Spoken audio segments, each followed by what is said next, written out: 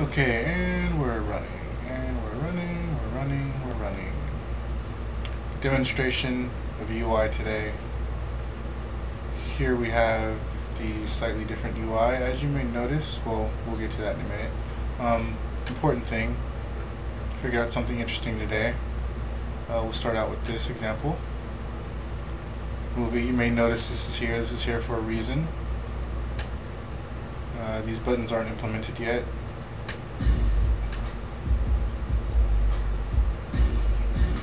Oh hey, look, it changes to the proper aspect ratio. That's pretty cool. Also, we have time code. Bam. Yeah, I said it, time code. Um, there's also zoom and aspect and stuff. Now, I'm experiencing with drop shadow. As you can see, it has weird effects on round. It has better effects on square buttons and rounded buttons, but I think that's just I need to make like a round something or other. I don't know. I'll figure that out. Moral of the story is, it looks better. As you can see, it works you know a lot better on some of the other elements. Um, so you can see here. Anyways.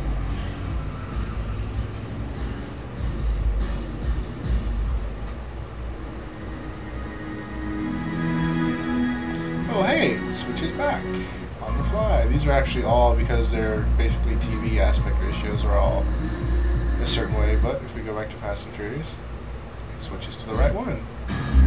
So it is something that is possible. Um, I just implemented this in the afternoon after I got done playing video games. So, you know, onward and upward. But I just want to show you designers it is possible. Um, basically, all I needed to do was and the property exists now, so you guys don't even have to do anything really that complicated. It's this bit right here. Basically, um, what you're allowed to do is a uh, conditional um, based on well whatever. It sucks because it's basically a yes or no, so you can't do anything too complicated. But you can get creative with it, and it does things like text com text comparison and other things. It's a little abstract and kind of weird and not very well documented how exactly the comparison works, but it works after some experimenting. I know you can use booleans. It's basically if it's this, do something, otherwise do that. Um, but basically what we have here is um, now playing aspect, which is um, part of the image provider. There's a function that tells you or that tells the UI what aspect ratio the incoming image is, so that way the UI can rearrange itself to optimally optimally display that image. And so basically what I have here is after a little bit of time spent, um, basically just figured out roughly what would decent aspect ratios look like automatically generated. And so what happens is um, it evaluates the width.